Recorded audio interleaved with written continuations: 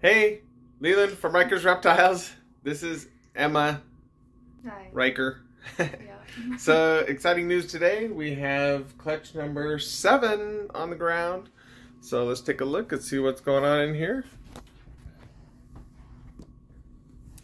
This is Maz.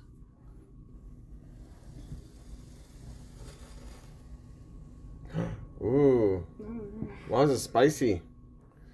Okay, we're gonna have to get this snake out and get her. Oh, she's already coming at me. Okay, hold on. I'm gonna get a tub ready.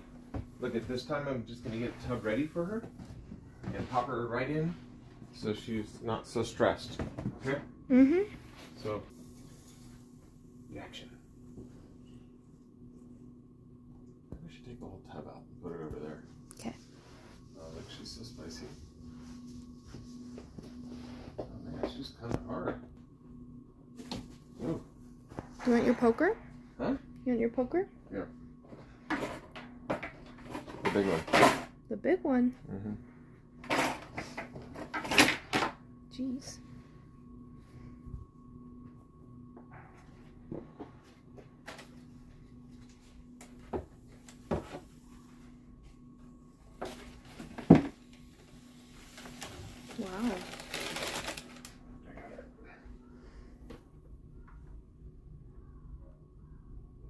1725, babe. Got eight, bit, eight eggs done. 1725. Lemon slider in.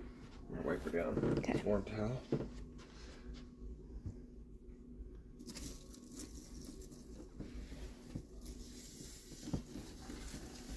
Seventeen twenty-five.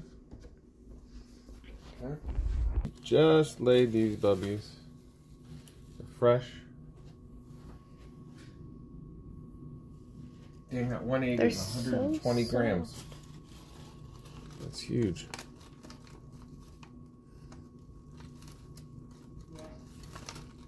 Looks like glue.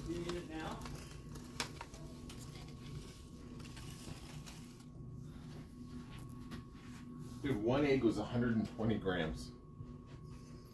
That's crazy. How many eggs are there? Eight. Eight. Those are big eggs too. Yeah, these are big eggs. Maz is a big girl.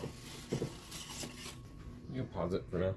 Chris, All right. I I had to go get in the shower, man. Well, there you have it. Eight eggs, 880 grams. And she came out weighing 1,725 grams.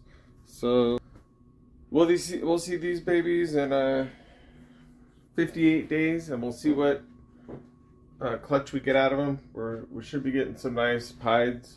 Hopefully, if she's um, if she's het pied, it's a Enchi het pied to a Mojave Ghost Pied or possible Luke Skywalker, which is a vanilla fire leopard Mojave double het pied clown possible situation. So good luck. We got a lot of fun uh, opportunities here.